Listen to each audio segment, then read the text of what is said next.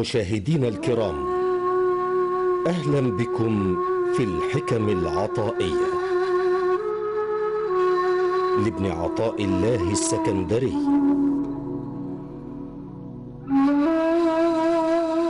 الحكمة الرابعة. أرح نفسك من التدبير فما قام به غيرك عنك لا تقم به لنفسك. الحمد لله رب العالمين وصلاة وسلاما على الصادق الوعد الأمين سيدنا محمد وعلى آله وصحبه أجمعين. اللهم لا علم لنا إلا ما علمتنا إنك أنت العليم الحكيم. يا معلم آدم علمنا ويا مفهم سليمان فهمنا. أهلا بحضراتكم في هذا اللقاء المتجدد حول الحكم العطائية وحكمة اليوم تقول أرح نفسك من التدبير فما قام به غيرك عنك لا تقم به أنت لنفسك. ابن عطاء الله في هذه الحكمة يريدنا أن نسلم الأمر لله أن ندخل تحت دائرة لا حول ولا قوة إلا بالله العلي العظيم. أرح نفسك من التدبير فالمدبر هو الله. ادخل في دائرة الرضا وفي دائرة اليقين فالمدبر لك والمعين لك هو الله. فلا ترهق نفسك لا تؤلم نفسك في التدبير فأولو التدبير هلك أرح نفسك من التدبير فما قام به الله عنك لا تستطيع أنت أن تقوم به لنفسك. قد يقول قائل أن هذه الحكمة تتعارض مع الحكمة الثانية؟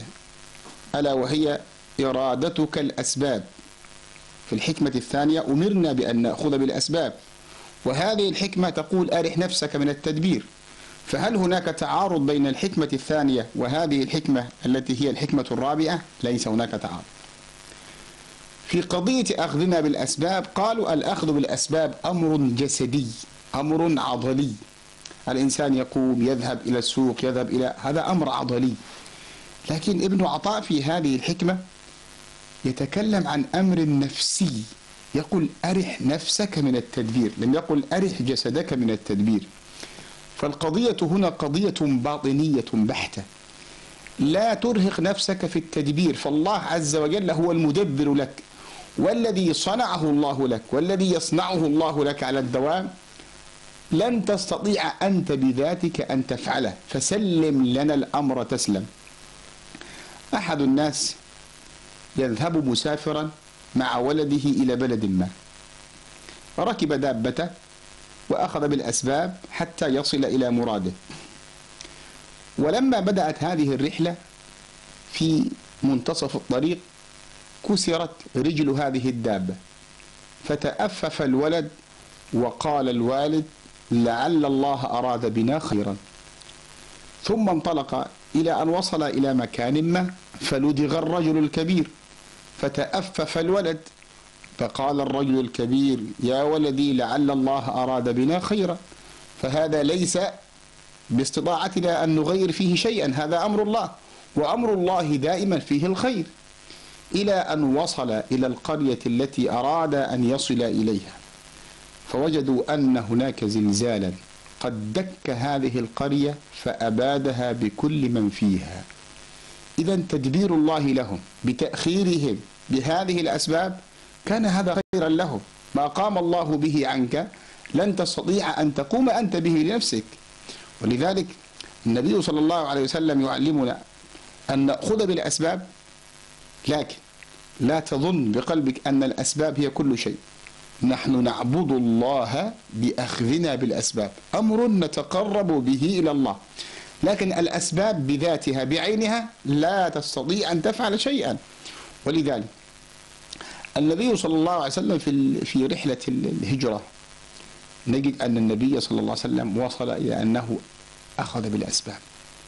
فجهز الراحلة وجعل سيدنا علي مكانه في فراشه وخرج صلى الله عليه وسلم ليلا واختبأ في الغار من الكفار. كل هذه تعتبر أسباب. لكن لما وصل الأمر إلى أن المشركين على باب الغار وقال الصديق يا رسول الله لو نظر أحدهم تحت قدميه لرآنا يخبر صلى الله عليه وسلم بلسان الواثق المتوكل المتيقن في مولاه. يا أبا بكر ما ظنك باثنين؟ الله ثالثهما. لا تحزن إن الله معنا.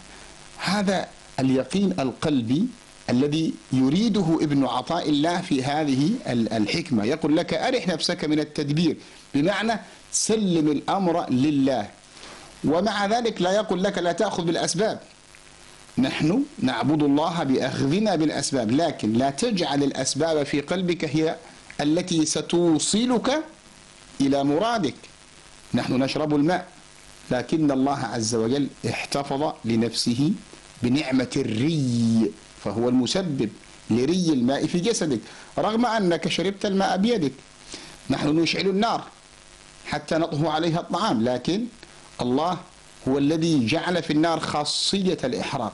ابن عطاء الله يقول لك مهما تعددت الأسباب بالنسبة لك اعلم أن الذي ينفذ أن الذي يدبر أن الذي يسوق إليك الخير هو الله.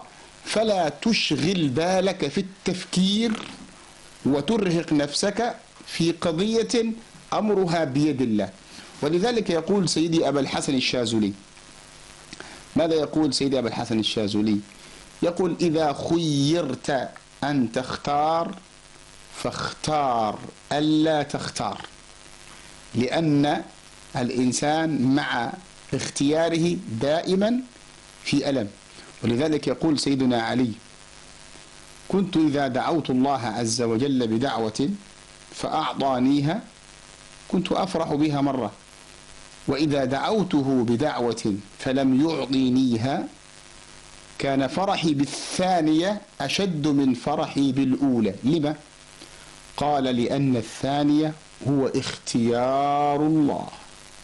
أما الثانية اختيار الله واختيار الله دائما هو الأفضل واختيار الله دائما هو الأحسن. إذا إذا كان الأمر بيد الله عز وجل فلا تؤلم نفسك لا ترهق نفسك. الله خلق السماوات وخلق الأراضين ولم يعجزه شيء في خلقه. أيعجزه أن يحل لك ما أنت فيه من هموم؟ ولذلك كلما صدق الإنسان في إقباله على الله وفي همته إلى الله وفي أنه ليس له سوى الله عز وجل بهذا اليقين بهذا التوكل يصل إلى مراده. ابن عطاء يقول لك لا ترهق نفسك أرح نفسك من التدبير فما قام به غيرك عنك وهو الله لا تقم به أنت لنفسك. أنت ضعيف. أنت لا تملك شيء. ما أنت إلا مراد الله في الأرض.